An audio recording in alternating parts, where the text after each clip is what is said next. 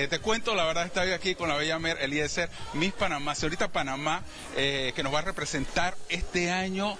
Eh, la verdad que te veo hermosa como siempre y te veo muy contenta, te veo con una cara de ilusión muy grande. Es el glow. El glow, el glow. La verdad que, ¿cómo te sientes hoy? Ay, estoy tan emocionada. Como dijiste, tengo un glow porque estoy, es la adrenalina, es la energía que llevo y eso se transmite, espero.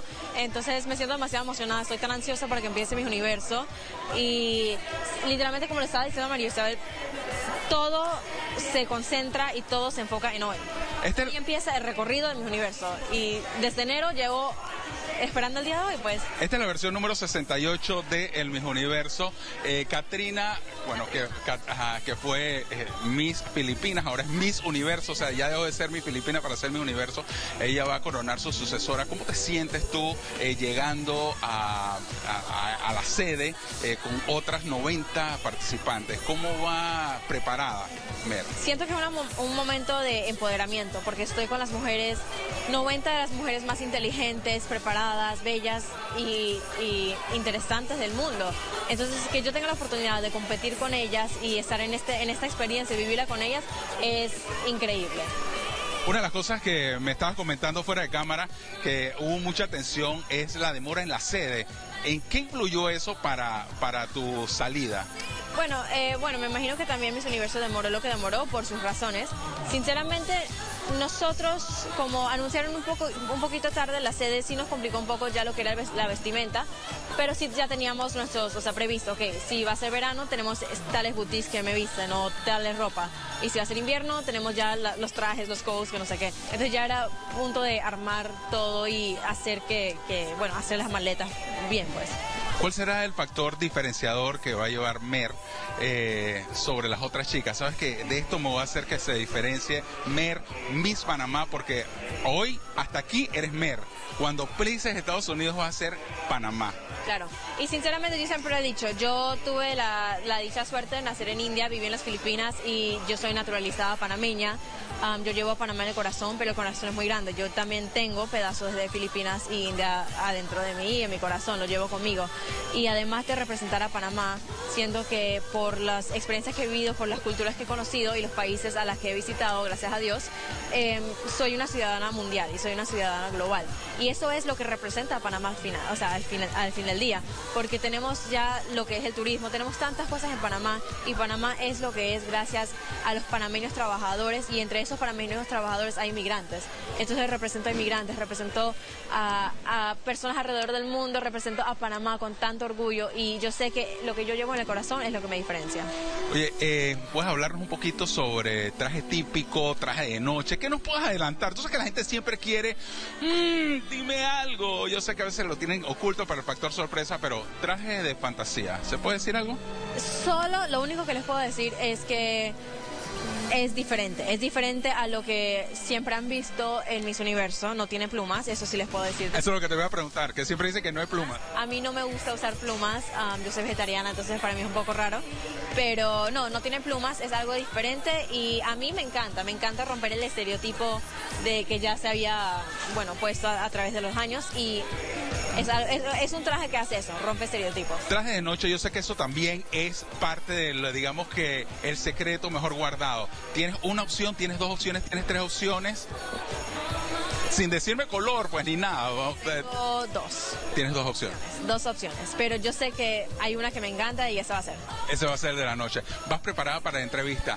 ¿Qué has escuchado? ¿Qué te han dicho? ¿Te has podido preparar con algunas otras misas que han tenido experiencia con algunas señoritas Panamá anteriores? ¿Has tenido contactos con ellas para que tengan orientación o simplemente...? Sinceramente, una de mis asesoras principales es Natalie Glebova, que fue la Miss Universo 2005, y, y con ella sí he hecho muchas clases de oratoria, de, de práctica con el jurado, de entrevista con el jurado, pero al final del día todos, todos los tips que recibo son al final del día, sé tú misma, sé auténtica, sé original y es lo, o sea, entonces es lo que quiero poner en práctica porque no voy a ir a la entrevista de jurado a inventar nada, yo voy a hacer mer es mer, mer mer hoy, mer es mer siempre, mer es mer en la entrevista con el jurado. yo creo que yo Yo creo que eso se ha notado definitivamente en cada entrevista que te hemos visto en la radio, en la televisión, en los periódicos. O sea, eres tú, eres muy auténtica eh, y eso yo creo que también es un factor diferenciador.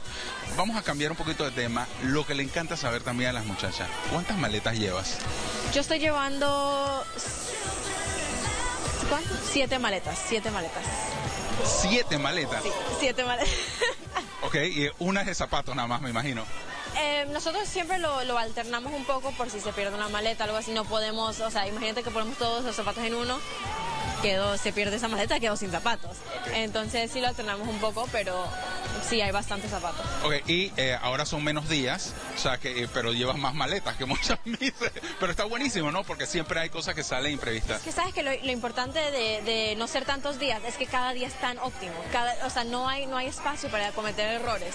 Y nosotros, nosotros y la, o sea, de la organización Señorita Panamá y yo como la Señorita Panamá, sabemos la importancia y vemos la importancia de lo que es aprovechar cada minuto y cada momento y cada día. Y son nueve días de concurso, pero esos nueve días son, o sea, hay que destacarse esos nueve días. Para la preliminar, este, por ejemplo, llevas, eh, este año te va a acompañar algún estilista para que te maquille, te peine. Bueno, sinceramente Mis Universo no permite estilistas. Um, la única persona que va de mi lado es mi mamá. Ella va, eh, va a estar ahí para la preliminar y bueno, eh, es lo único que necesito, pues ese, esa es la única fuente de apoyo que necesito, porque yo me puedo maquillar, me peino si necesito hacerlo. Pero además de ello, si no me equivoco, en la preliminar y en la final, ellos, ellos Mis Universo nos maquillan. No okay. Otra cosa que también vi este año, increíblemente se vendieron los boletos, pero la velocidad del rayo. ¿Qué pasó con gente que a lo mejor quería ir que se quedó sin nada? ¿Has sabido? ¿Te han llamado? ¿Te dijo, Mer, quería ir, no hay boletos? Claro, mi mamá es una de ellas. ¿Se quedó sin boleto? Sí, lastimosamente, pero vamos a ver qué hacemos. Eh, no, pero es, pero mira que también es parte, de, es parte del, del, trabajo, pues, porque el, esta vez en, es en Atlanta, el Miss Universo, y sinceramente no sabemos, no son tantos puestos y es, es eh, obvio que se van a vender súper rápido. Y se vendieron, de, los de la final se vendieron como en 10 minutos, que es impresionante. Sí, a lo mejor, y este año también tenía una cuestión que es super VIP, que no sé qué, costaba mil y pico de dólares y también se vendieron súper rápido. Súper rápido. Y eso me emociona tanto porque hay personas que quieren ver el show y estoy muy emocionada de formar parte de eso. Oye, César, estás por aquí, vente para acá. Yo sé que odio que lo, él odia que lo llamen así de repente. César, ¿cómo es la preparación de la MIS? Ha sido, han sido meses de preparación. Eh, ya llegó el día en que se va. Cuéntame un poco. Bueno, estamos muy contentos por todo el trabajo que se ha hecho. Eh, se le han puesto los mejores profesionales a nuestro alcance. Hemos traído personas del extranjero que también la han apoyado muchísimo. Hemos trabajado con profesionales panameños. Eh, se ha hecho el trabajo. Creo que va a ser una presentación muy lucida que va a tener Panamá este año. En este momento las redes sociales están hablando mucho, justo de lo que está pasando, y eso nos dice que hay mucha atención hacia la participación de MER. Yo creo que lo que podemos esperar primero, sin prometer corona, sin prometer posiciones, es una excelente representación de Panamá con una mujer que primero es muy culta, que es profesional, que, que es estudiada, que, que habla idiomas, que tiene una misión social importante y que se ha ido ganando el cariño de los panameños poco a poco. Lo que antes se cuestionaba, ahora ya es parte del sentimiento de mucha gente. Eh, sí, eh, veo unos guantes allí. Cuéntame qué estamos viendo, Mer, por aquí. Que veo, veo cositas como doradas en una bolsa. Cuéntame, ya estoy dejaneando un poco de esto. Bueno, los guantes de boxeo fueron un regalo de mi entrenador de boxeo. Uh, me los regaló justo cuando tuve mi primera pelea, entonces los cargo conmigo cuando... Bueno, nunca he viajado con ellos antes, a menos que iba a entrenar o a pelear, pero yo sé que me van a dar ese, ese apoyo moral de él porque siempre me está diciendo que siga luchando a través de las adversidades y estoy muy emocionada porque siento que tengo a toda mi cuadra de boxeo y todo mi gimnasio aquí conmigo. Uh, o sea que te vas, a poner, te vas a poner los guantes con las misas allá. No, no con las misas, pero sí voy a estar entrenando ahí. Es para hacer un poco de sombra, a ver si me... ¿sabes? a liberarme un poco. Ahora que tú dices que está, vas a seguir entrenando, eh, tú eres vegetariana, cuéntame cómo vas a llevar ese tema de la comida. ¿Has podido averiguar un poco si también tienen esa facilidad para...? Hay, hay varias chicas que son vegetarianas que están ahí. De hecho, la, la de Bangladesh y la de la Miss India también son vegetarianas.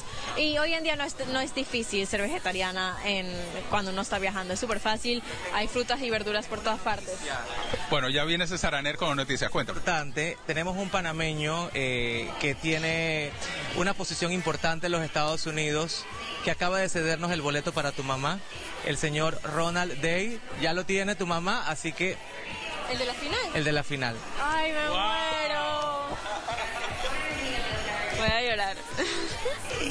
Wow, gracias César. Oye, gracias a Roger por ese, eh, por ese detalle. ¿Qué tal? Mira, te acabas de enterar, tu mamá va a estar contigo. Era lo que querías.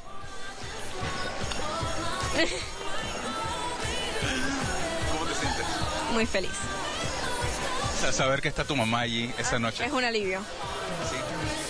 Cuéntame, ¿qué ha sido tu mamá durante todo este tiempo para ti?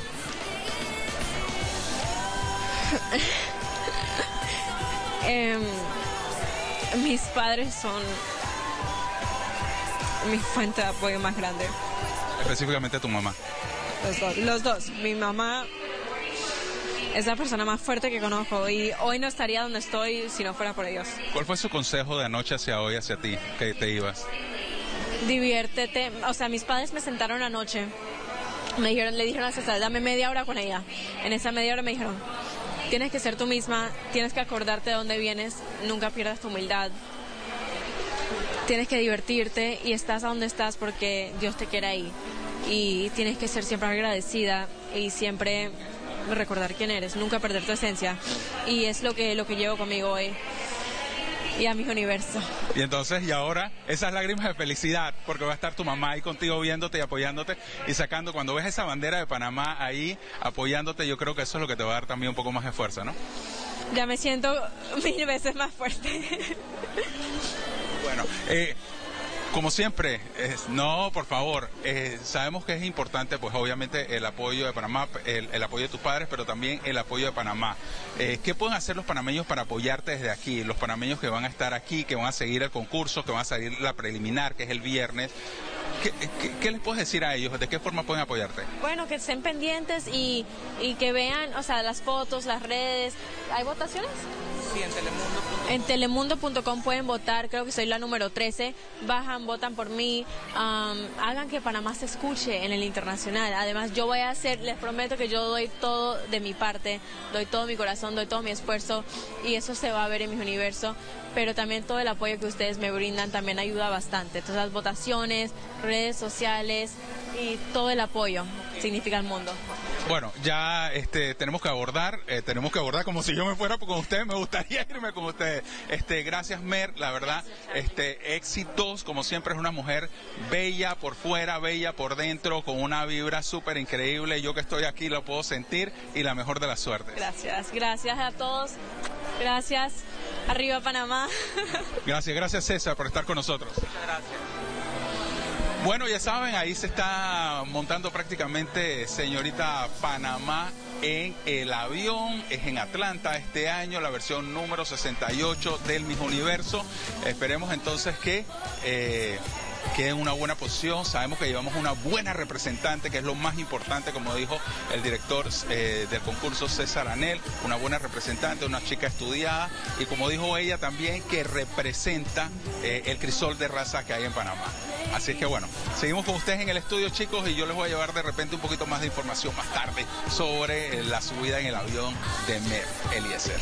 Si te gusta el contenido de este canal, regálanos un pulgar arriba. Recuerda suscribirte para ser el primero en ver nuestro contenido exclusivo. Activa la campanita y déjanos tus comentarios.